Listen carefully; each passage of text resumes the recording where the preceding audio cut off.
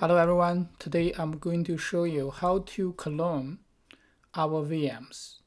Okay, so first of all, let's check the configurations of our VM. Suppose you have installed seed VM, then go to settings, go to network, and uh, make sure you select Adap adapter 2. Okay, so for adapter 2, click choose enable network adapter and choose bridged adapter. So here, choose bridged adapter and the name of adapter, you need to choose the wireless network card your computer uses. Okay, so in my computer, I mean my Windows system, I'm using AC8265. So I should choose this one. So how do you know the appropriate wireless network card you need to choose? That is, we can right click, right click this PC properties and choose device manager. Then here you will see network adapter. Okay, so in network adapter you will see your wireless adapter. So this is the hardware. Okay, I'm using my AC8265. So from this, from here, I need to choose where is AC 8265. Okay. And uh, after choosing this one, click Advanced. Okay. So here, actually, you don't need to change adapter type. But here we want to, we need, we have to choose this one, allow all. Promiscuous mode, we need to choose allow all. For the promiscuous mode, then the attacker is able to monitor the traffic between the server and the client. Otherwise, the attacker is not able to monitor or get information from the server to the client. Okay, so in order to have a successful uh, project, we need to choose this one, promiscuous mode, and choose allow all. Okay, choose allow all. Okay, then click OK. All right, so this is about the setting. Then we can right click it. So right now I have the client. I have the seed client. Client. I also have the seed server. I want to make another clone. And uh, I will name the another clone to seed attacker. Okay, seed attacker. All right. So here, this is very important. MAC address policy, we need to choose generate new MAC address for all network adapters. Then choose next. Okay, then choose for clone. Then click clone. Okay, so then wait for a while, you will be able to find a new VM. And the name is seed underscore attacker. Alright, so right now I have finished the clone. So you can see right now I have server, seed server, seed client, and seed attacker. Okay, for the seed attacker, let's double check the settings. So click settings, network, so adapter 2, bridged adapter. Okay, then click OK. Click OK.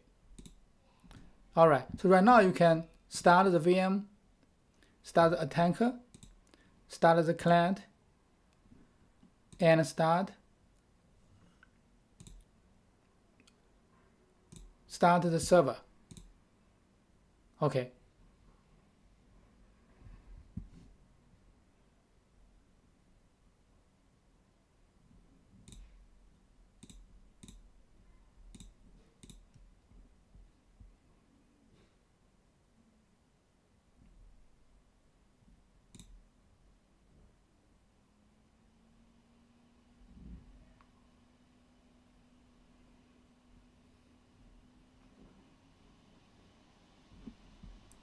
So you can also, okay.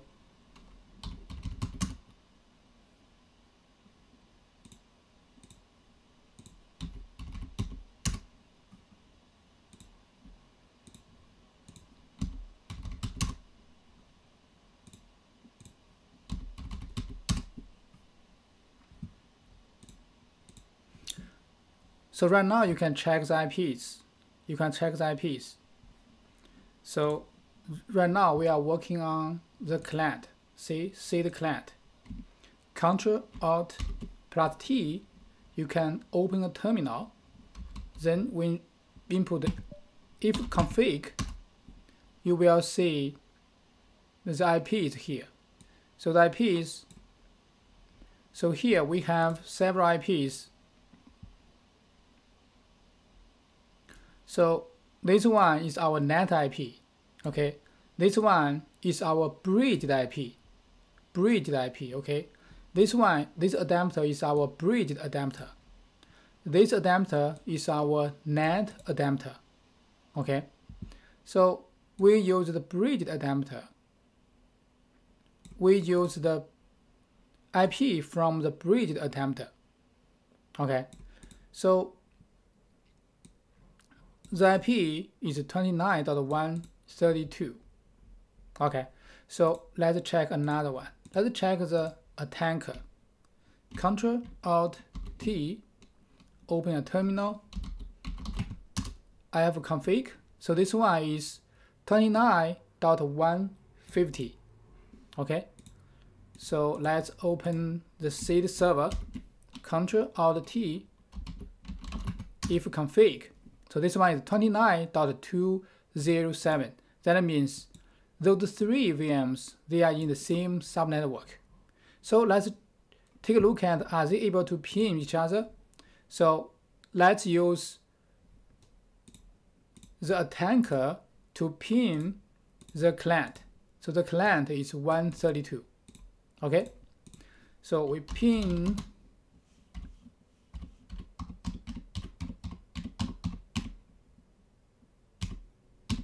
132. Okay, so we are able to ping 132.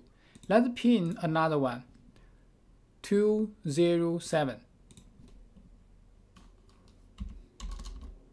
207. See, we are able to ping 207. Okay, so that that means our environment is ready. Okay. Okay, so you can also verify if the promiscuous mode is open or not. Okay, so how can you do that? So this one is attacker. From attacker, we just open our Wireshark. Okay, so that is sudo Wireshark so you will be able to Wireshark. Okay. So here we have several adapters. So we will use we will use this one because we are going to use this subnetwork. So we click enp0s8. Click it, then click start capturing packets. Okay. All right. So, so right now, the attacker is using Wireshark to monitor traffics. So next, let's open the client terminal. let's just tell telnet to the server. So the server IP is 29.207. Okay, from the client, telnet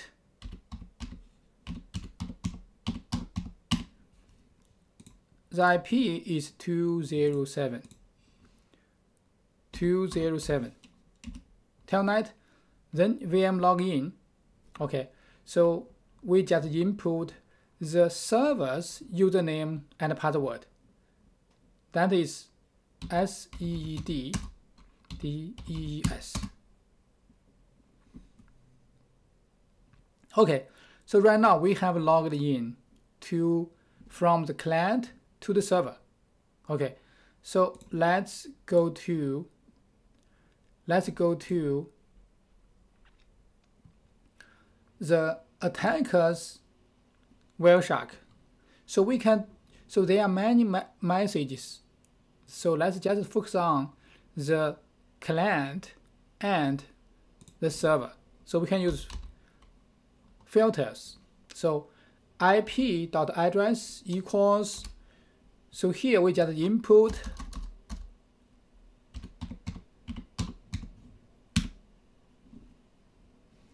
we can we just input our server's IP address, which is 207, okay?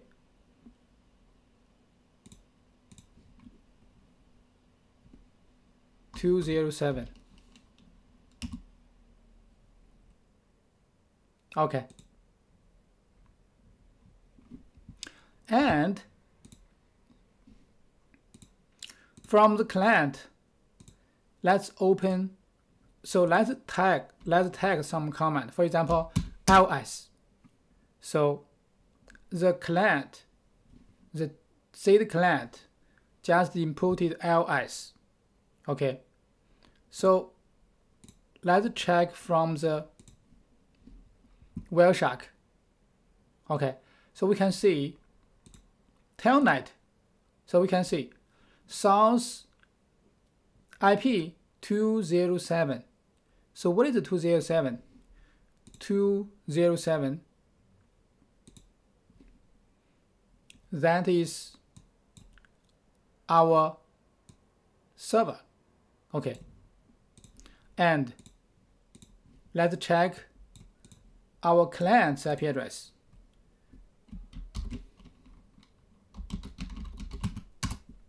our client's IP address that is 132. Okay, so you can see 207 is talking with 132 using telnet.